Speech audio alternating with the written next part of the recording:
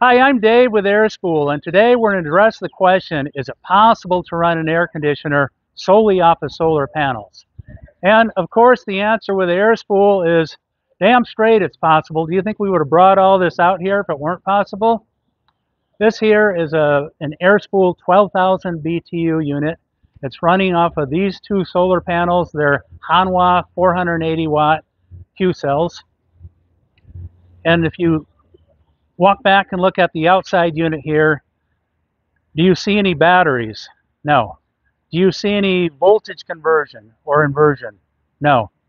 You see this plug here, and you'll see that it's unplugged, and that plug can be indeed plugged in at nighttime or when it's cloudy during the day, and at that point, there's super efficient 22 SEER cooling.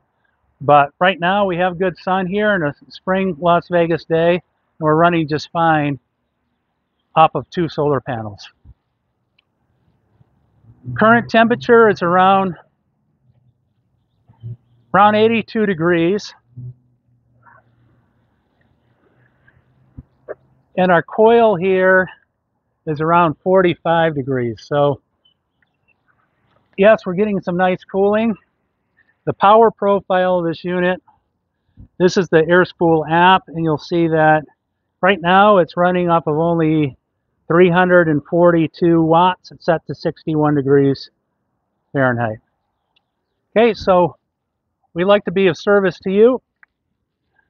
So email dave at airspool.com or call 725 699 1200 for any questions and check out the AirSpool website.